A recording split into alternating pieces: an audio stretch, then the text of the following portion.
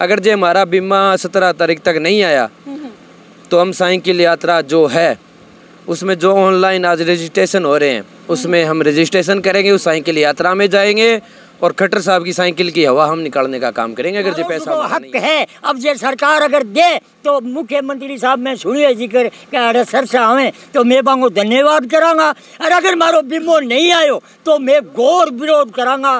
केरो मैं के निर्णय ले सका आ मैं चैलेंज करा मुख्यमंत्री हमारा सत्रह तारीख को पहली पहली खाता में पैसा डाल दे तो ठीक है। नहीं फिर साइकिल की मैं काट दिया फूंक तो। कल लुगाइया भी बोल दी कोई आदमी आके बोलो फैक्ट्री लगा दीजिए बोलो तन ऊपर लगाऊँगा बड़े चाँद पर है। चाँद पर चलांगा था ना अब बड़ी करांग काम था रोका। ए कोई बोल दी कह के ये मुख्यमंत्री का भाषण है के थे बता दो वो सुपड़ो साफ़ हुआ वो आगे तो डिक्टेटरशिप करने की तैयारी करने लग रहा है तो। इंडिया को नाम मिटने लग रहा है इंडिया को नाम है आपकी मर्ज़ी का नाम टेका एक तो भारत का है भी सारा भड़कना मैं हैप्पी सिंगला आप देख रहे हैं पहरेदार भारत न्यूज़ और इस वक्त की जो तस्वीरें हैं वो आप चौपटा से देख रहे हैं जहाँ पर लगातार पिछले चार महीनों से धरना लगा हुआ है दो दो हज़ार बाईस के मुआवजे को लेकर कि जो मुआवजा है, साढ़े सात सौ करोड़ का जो मुआवजा है, वो बताया जा रहा है कि नहीं आया। और इससे पहले की बात करें तो गुसाई किसान थे, वो टंकी के ऊपर चढ़ गए थे 16 दिन पानी की टंकी के ऊपर रहे थे।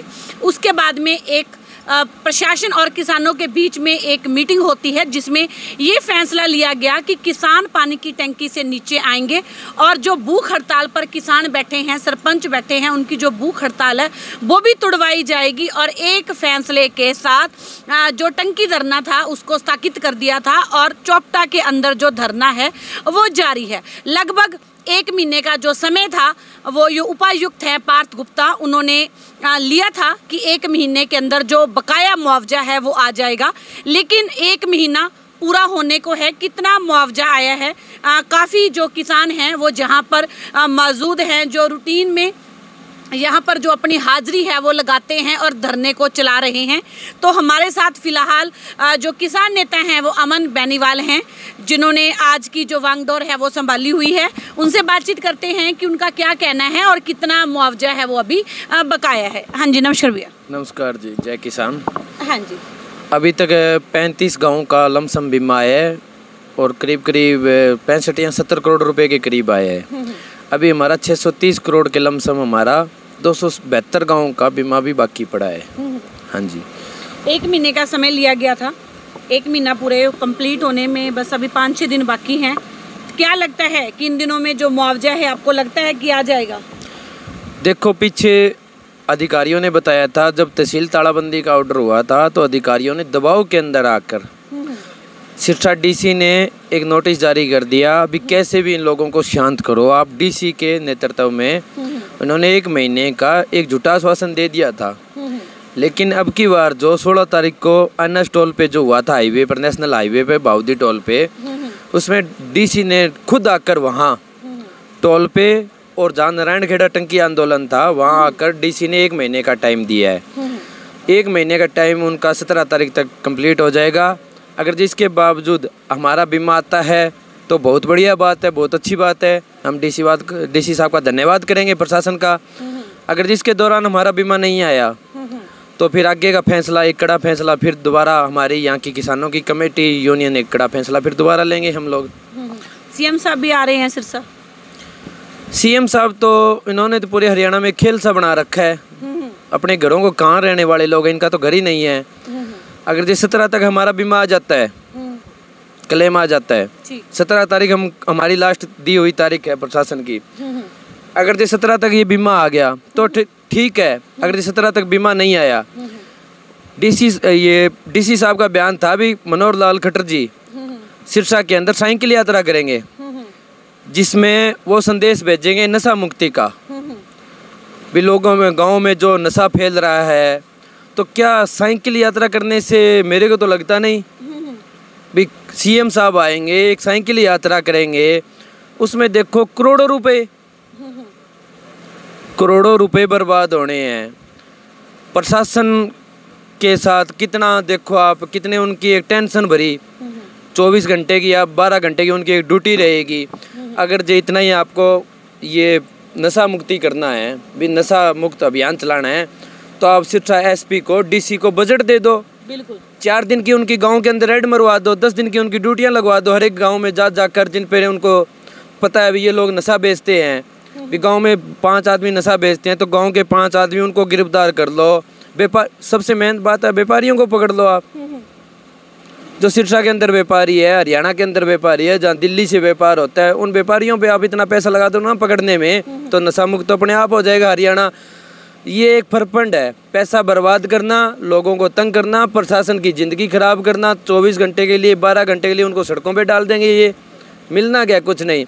अगर जो हमारा बीमा सत्रह तारीख तक नहीं आया तो हम साइकिल यात्रा जो है उसमें जो ऑनलाइन आज रजिस्ट्रेशन हो रहे हैं उसमें हम रजिस्ट्रेशन करेंगे उस साइकिल यात्रा में जाएँगे और खट्टर साहब की साइकिल की हवा हम निकालने का काम करेंगे। अगर जो पैसा हमारा नहीं आया तो। हाँ जी राम राम ताऊ जी। राम राम बेटे राम राम। मारो देखो पाँचवें महीने की पाँच तारीख ने अठे आ और निर्णय लियो। चार महीना, पाँच महीना अड़ीक के किसानों को बीमो, किसान एक, बोलो बालो किसान है के सी में बीमो सरकार काट ले। चलो स्कीम में अच्छी मानी, मना हमारे लिए बुरी होती, बगन लाग रही दिन दिन बीमो काट लें, बीमो देने की टाइम आती है, जैसे कोई कंपनी की जवाब दे दे, कोई की थुरी लगा दे। किसान के ने कोई ही पावर नहीं है, सिवाय किस्त के। किस्त कटा दी, किस्त कटाने के बाद बाद में कंपनी है कि आपकी फ़सल की देख रेख करेगी, बिंगी औस्त निकालेगी काम की, और कृषि विभाग बीमो बनाओगे। किसान को पीसो क्यों खजरे और आज महीना हो गया, किसान को पीस हुए जो दबियो पड़ी है। सरकार है जी कोई सुध कौन लेने लग रही। पाँचवें महीने को मारो धरनो अठे छोरा लागू करो बिंगे बाद में हमारे सर से प्रशासन आगे कागज़ भेजे हैं। मन फिर ही मैं चलो। मानना मारो सुको हक है। अब जे सरकार अगर दे तो मुख्यमंत्री साहब, मैं सुनिए ज़िक्र कि अरे सर से आवे तो मैं बांगो धन्यवाद करांगा। और अगर मारो बीमो नहीं आयो तो मैं घोर विरोध करांगा। केरो मैं के निर्णय ले सका आ मैं चैलेंज करा मुख्यमंत्री साहब ने, भाई मारो समेत ब्याज बीमो किसानों को हक है, मारो ओ एक एक पीस दिलवायो जा और मारे सागे ओ जो प्रशासन सरसा जगह मारे सागे वायदो करे नेशनल हाईवे पर। मैं गांधीवादी नीतियों बैठे रहा जेटे कयो बड़े डटे रहा ते मारे बीच में बार बार आंता रहा मैं कोई उपदेश नहीं करो और जो सरकार कहो जो मानता रहा अब माने एक महीने टाइम मुझे मारो आ जाएगा तो ठीक है। नहीं आओगे तो फिर विचार बहुत बुढ़ा हो। मेरा नाम देवराज है जी गाँव अधिगम है। हाँ जी क्या कहना चाहते हैं? अभी महीना पूरा होने को आ गया। आ गया जी आज मान लो नौ तारीख होगी। सत्रह तारीख को मैं मतलब टंकी पर मान उतारा तो आई डीसी साहब को मैं आश्वासन के ऊपर उतरिया हड़ताल भूख हड़ताल तोड़ी कभी चलो कोई बात को नहीं मिन्नत आ जाएगा। बिना बावजूद यहाँ सात दिन बाकी रहे हमारी कोई सुधी कौन नहीं आ रही सरकार कोई बात ही कौन करना आ रही। तो अब आगे देखो हमारा बुज़ुर्ग है के निर्णय दे के कमेटी दे। मैं भी तई मतलब आगे प्लानिंग करने ला रहा। ठीक। हाँ। सीएम साहब आ रहे हैं। सीएम साहब आ रहे हैं हमारा सत्रह तारीख को पहली पहली खाता में पैसा डाल दे तो ठीक है नहीं फिर साइकिल की मैं काट ही दिया फूक तो। राम राम। हाँ जी। ये है जी खटर के है सरकार बहुत बेकार है अंग्रेज़ों खराब हो रही है। बहुत माड़ी कर रखी है। और आ नहीं यहाँ दो हज़ार उन्नीस में आई दूसरे फिर बाद में धरना धरना चल रहा है कोई काम कौन करे अब परसों वाले दिन साल मारिया। कल लुगाइया भी बोल दी कोई आदमी आके बोलो, फैक्ट्री लगा दो जी, बोलो, तन ऊपर लगाऊँगा बड़े चाँद पर है। चाँद पर चलांगा था ना, अब बड़ी करांग काम थारो का ए कोई बोल दी क्या कि ये मुख्यमंत्री का भाषण है कि ते बता दो है तो ये भाषण देते हैं। बोलने का पता नहीं मुख्यमंत्री हो बने बैठे के काम इन्हें? ये बताओ, ये ये भाषण नहीं हमारा ही है। कौन बोल रहा मैं पे बोलने ला रहा है। धन्यवाद। जय किसान। जय और करे मंदिर धरना चल रहा है। मुआवजा अभी तक नहीं आया। हाँ जी ये सरू लेके अब ताई प्रधानमंत्री फ़सल बीमा योजना चलाई जो किसान राज़ी हो। भाई हमारी फ़सल नुकसान होगी तो आ सरकार माने सहयोग देगी। लेकिन जदू आ सरकार बनी है आ बीज के ऊपर कोई ध्यान को नहीं खाद के ऊपर कोई ध्यान को नहीं स्प्रे के ऊपर कोई ध्यान को नहीं। एक तो नकली बीज कंपनियाँ को दे, छूट दे दी बाने तो वहाँ दियो तो बिंगा माँ लट पड़न लाग रही है। वो ये बहुत बड़ा नुकसान है, पूरा खर्चो खा के हाथ झटका के किसान घरे बैठ जाए। जबकि सरकार बनी बिने ई लेवल के ऊपर काम करना चाहिए हो कि किसाना ने बीज, खाद, स्प्रे बढ़िया मिलनी चाहिए। तो व्यापारियों ने यहाँ बड़ी छूट दे रखी है वह नकली माल बेचे हैं। किसान बहुत दुखी है, दिन रात लूटने लग रहे हैं। जद सरकार बनी है जदू किसान के ऊपर बैठे हैं जगह किसान ने खेत में काम करना चाहिए, सरकार बना दी, निश्चित हो गए। भाई माए बाप है हमारा गद्दी के ऊपर बिठा दिया तो बाने आपकी जनता की, पुत्र रूपी जनता है भी मतलब फ़िक्र करनी चाहिए। तो आंग घर बार नहीं आंगे, कोई आंगे भाईचारो नहीं आंगे। ए गली में फिरता कालिया अमेरिकन खागड़, जकान बोल। रहे हैं आगे 2024 में इलेक्शन आ रहे हैं तो क्या लगता है? हाँ जी मुश्किल ही है। आंगो, ओ, सुपड़ो साफ़ हुआ गो आगे तो डिक्टेटरशिप करने की तैयारी करने लग रहे हैं तो। इंडिया को नाम मिटने लग रहा है। इंडिया को नाम है, आपकी मर्ज़ी का नाम टेका। एक तो भारत का है भी सारा भड़कना जा फिर है, आपकी मर्ज़ी को नाम टेकेगा। भी आपका कब्जे को भारत। आप, देश आपका कब्जा को बनाना चाहे विपक्ष अगर नहीं चेतते हो तो ये है, सारी इनके भी सामने आ जाएगी, परेशानी। जनता तो है ही है, विपक्ष ने भी है, जन झेलनी पड़ेगी, अगर नहीं जागे तो। तो कुछ तो चेतो करे है निंदा में सुत्या कुंभकर्ण जाग्या है। अगर सही तरीका जो है भाईचारों में एक जगह हो के काम करेगा तो ये पार्टी ने हरियाणा को काम करेगा।